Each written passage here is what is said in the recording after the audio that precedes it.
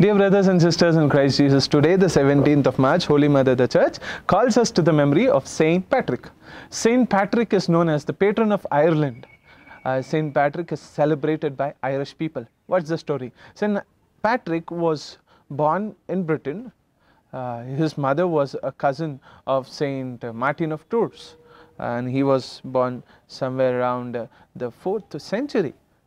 The story is this that uh, he was when 16 taken as uh, he was captured by people and he was taken there to Ireland and there he was kept as a shepherd.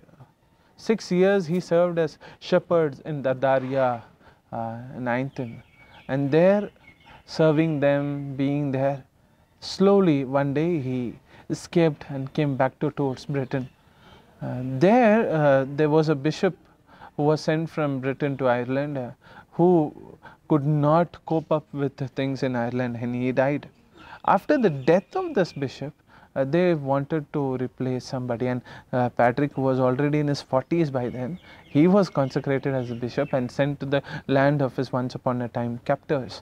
Uh, and he was sent there there he loved the people so much and he was loved by the people uh, and that's how uh, he he gained people for Christ and St. Patrick's St. Patrick was really the one who evangelized the whole of Ireland and and there also is a story of how people were suffering from the plague of the snakes and St. Patrick freed the island from snakes St. Patrick uh, is one of the very famous uh, saints that we know today. He's, he was a bishop, he was a bishop, he was a shepherd, a very gentle person, and someone who stood for his people.